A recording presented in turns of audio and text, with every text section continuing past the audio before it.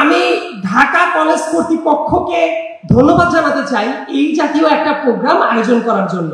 এবং এই যে ঢাকা কলেজ, যে ঢাকা কলেজে একটু আগে স্যার তুষার ভাই যেটা বলে গেছেন যে অনেক ঐতিহ্যবাহী একটা কলেজ, আমি এটা মনে প্রাণে বিশ্বাস করি সেই ঐতিহ্যটাকে ধারণ করার মতো যে ক্যাপাসিটি সেই ক্যাপাসিটিটা নষ্ট করে দেওয়ার চেষ্টা সব জায়গা থেকে করা হয়েছে।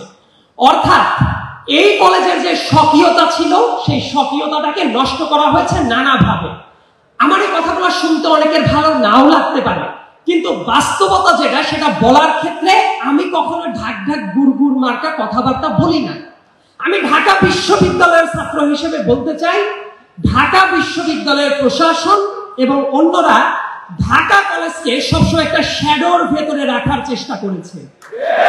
এবং এই কাজটা জন্য যে ধরনের মিথ্যা আশা দিয়ে তাদেরকে বলা হয়েছে, ঢাকা বিশ্ববিদ্যালয়ের আওতায় গেলে এইটা হবে, ওইটা হবে আলটিমেটলি তাদের একাডেমিক ইয়ার যেটা, সেটাকে ক্ষতিগ্রস্ত করে রাখা হয়েছে এবং ঢাকা কলেজকে সব সময় রাজনৈতিক দলের পেটুয়া বাহিনী হিসেবে ব্যবহার করা হয়েছে। দুর্ভাগ্যের ব্যাপারটা হলো, এই জায়গায় আজকে দাঁড়িয়ে যত স্বাধীনভাবে আমি কথা বলতে পারছি যদি ঘটনাটা এমন হতো যে পাঁচ আগস্টের আগে সাইদ আবদুল্লাহকে আমন্ত্রণ জানানো হয়েছে ঢাকা কলেজের অডিটোরিয়ামে, আমার দৃঢ় বিশ্বাস ছিল আসার আগেই আমার হাসপাতালে পাঠিয়ে দেওয়ার বন্দোবস্ত করে ফেলতো এই ঢাকা কলেজের কুখ্যাত ছাত্রলীগ।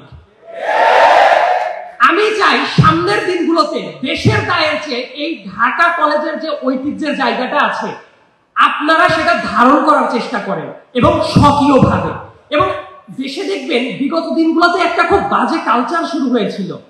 আমি বলি বিশ্ববিদ্যালয়ের মিছিল তৈরি করার একটা ট্রেন্ড ছিল। দেখবেন প্রতিটা অলিতে গলিতে বিশ্ববিদ্যালয়, প্রতিটা জেলাতে বিশ্ববিদ্যালয়, প্রতিটা উপজেলাতে বিশ্ববিদ্যালয় এবং এইটা করার ক্ষেত্রে তারা ক্রেডিট নিত, আমরা এতগুলো বিশ্ববিদ্যালয় বানিয়েছি। কিন্তু এই দেশের একাডেমিক স্ট্রাকচার যদি চিন্তা করেন ঢাকা কলেজের কন্ট্রিবিউশন অন্য অনেক পাবলিক বিশ্ববিদ্যালয়ের চেয়ে বহুগুণ বেশি। এই কথাটা দেখবেন অনেকে স্বীকার করতে চায় না, শুধু তাই না। আমি কি চাই জানেন? একটা দেশে শুধুমাত্র মানুষ অনার্স করবে মাস্টার্স করবে, এই কেসটা থাকা উচিত না।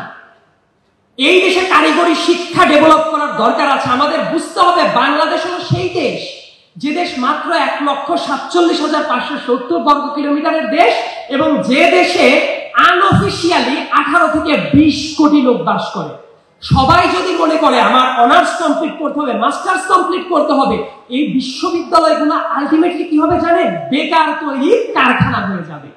কিন্তু এই জায়গাগুলো কিন্তু অ্যাড্রেস করে না। আমাদের দেশের শিক্ষা ব্যবস্থার একদম প্রারম্ভিক দিক যদি চিন্তা করেন, দেখবেন এই দেশের খ্যাতনামা অনেকগুলো কলেজ আছে। বগুড়াতে এই ধরনের কলেজ পাবেন পাবনাতে আছে, বরিশালে আছে, সিলেটে আছে, অনেক পুরনো কলেজ আছে। এই কলেজগুলো প্রত্যেকটা জায়গা থেকে আমি চাই সক্রিয় ভূমিকা রাখুক। এবং এই জায়গাগুলো যদি ধারণ করতে হয়, একদম পাইনারি হিসেবে দায়িত্ব কাদের পালন করা উচিত?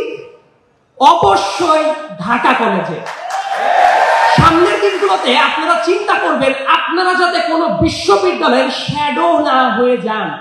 আপনারা যে ঢাকা কলেজ নিজেদের নামেই ঐতিহ্যবাহী, সেই জায়গাটা ফিরিয়ে পাওয়ার চেষ্টা করবেন বলে আমি বিশ্বাস